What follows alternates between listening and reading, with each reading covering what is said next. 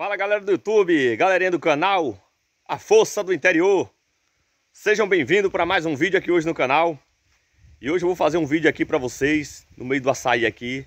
Um vídeo diferente, galera. Vocês veem que coisa linda quando você começa a trabalhar no padrão, quando você começa a entrar na organização, né?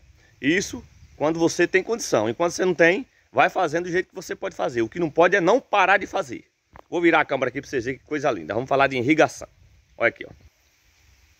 Olha aqui como é que tá a situação aqui, ó. Vou parar bem aqui, vai ficar um pouco ruim porque eu tô pegando contra o sol, mas eu queria que vocês vissem assim a lapada d'água aqui, é o negócio aqui. Ontem eu finalizei essa parte de, de irrigação, que nem eu falei para você, agora eu tô trabalhando no cavalete. Cavalete é esse sistema aqui, ó. Tô quase finalizando. Comecei de lá de baixo, vim fazendo, vim fazendo, já tô aqui na porta de casa. E só falta mais, mais outro cavalete desse eu finalizo a minha irrigação. Então todo mês, vou abaixar aqui para vocês verem como é que é o negócio. Ó. Todo mês, galera, a gente tá fazendo essa mudança, né? Gastando 300 reais para melhorar na irrigação por chave, mas ficando desse jeito aí que você tá vendo aí, ó. Olha pro negócio desse aqui, ó. É lapada d'água, galera. Aí muita gente não bota fé nesses bicozinhos jet. Fala que o de rodar é melhor, né? Beleza, não tem problema nenhum. O cara usa o que o cara quiser, né? Eu uso o jet porque eu coloquei o de rodar aqui, a manutenção era grande. E esse daqui não tem manutenção. E o único lugar que ele não joga água é só aqui, ó, na reta dele. Porque onde ele tá jogando, galera, ó. Quando você coloca a bomba, ó, tá jogando aqui, ó. Meu pé tá molhado aqui, ó. Daqui pra onde tá lá o bico, tá dando de 2,5 metros a 3 metros, tranquilo. Ele tá jogando. E assim, Tá essa parte todinha que tá ligada agora, ó, pra isso aí, ó. Chega, fica fumacinha, ó. Então, para ficar desse jeito aqui, o cara tem que fazer os cálculos, né? O tamanho da sua bomba, a vazão dela. Aí você calcula a vazão dela com a vazão de cada bicozinho desse, se não tiver vazamento na enganação. E aí é só juntar uma coisa com a outra e chegar nesse nível aqui, ó. Tá vendo? Olha que lindo, galera. Aonde o açaí tá plantado aqui, ó. Olha que você vê como um negócio plantado por padrão é bom. Aonde o açaí, o açaí tá aqui plantado, esse açaí aqui, ó, é 4x4. 4 de um lado, 4 do outro, 4 para frente e 4 para trás. E os bicos se encontram. É porque o pé de limão tá ali na frente, atrapalhou. Não vocês iam ver, os bicos se encontram. Ou seja, ó, se tiver 4x4 e a bomba estiver funcionando direitinho, de acordo com os bicos, vão se encontrar de um lado para o outro aqui, ó. Então a área toda vai molhar. Imagina o benefício que essa planta não vai ter a partir de agora, de cada vez que eu estou mudando, né? Já está tendo, né? Eu já consegui ver uma enorme diferença depois que eu tirei os bicos do pé do açaí e coloquei centralizado no meio para ter mais é, espaçamento para a água, para a planta não receber só no pé, receber nas raízes que estão ao redor do pé. Então a partir do momento que eu fiz isso, eu já vi as mudanças. Já já eu vou descer ali embaixo, vou mostrar para vocês como que está o cacheamento, o carregamento desse açaí meu aqui.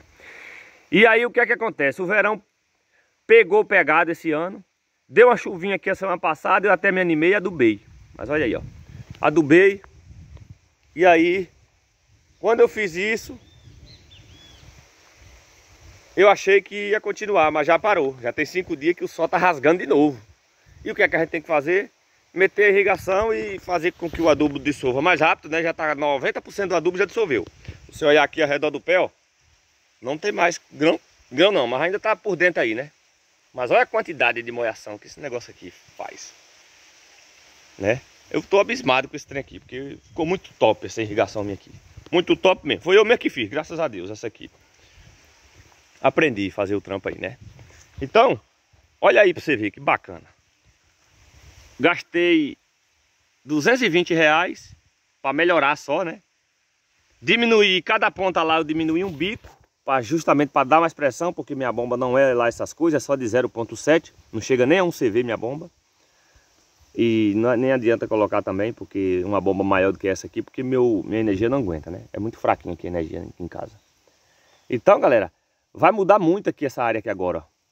Todo dia aguando uma hora desse jeito que eu tô fazendo aqui, só nessa parte da casa, ali para baixo é só a noite que eu molho. Mas aqui na frente da casa aqui, como a gente tá perto, eu ligo uma hora por dia.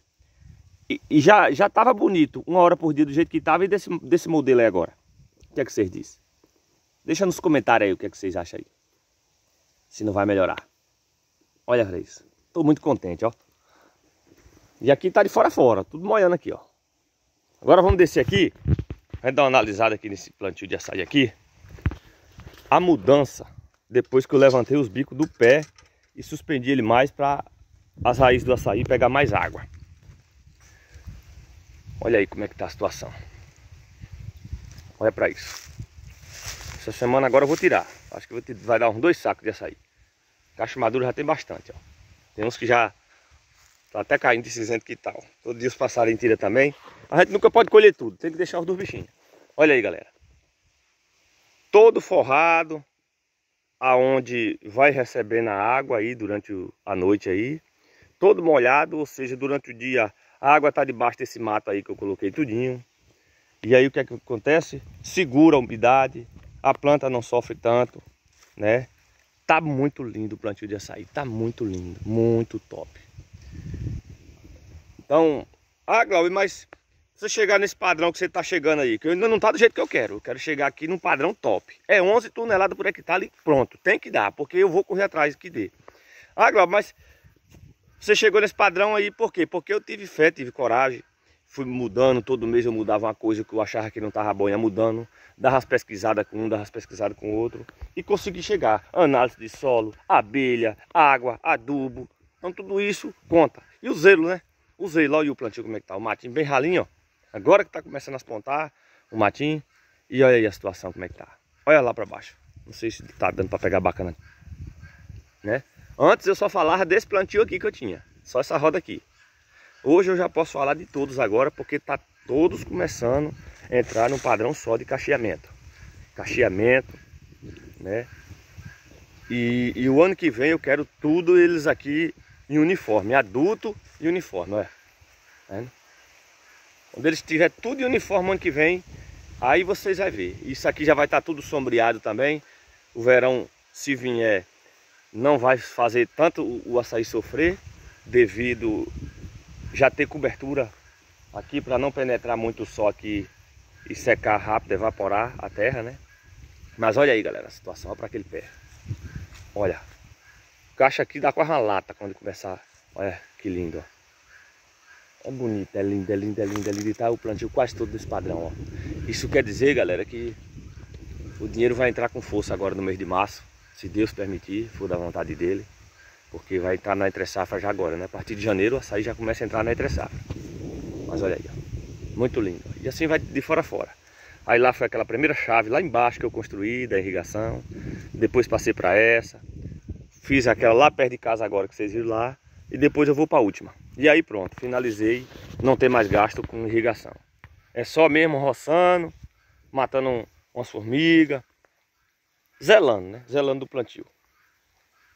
Mas é muito top, muito top. Depois que eu comecei a fazer isso, as minhas pernas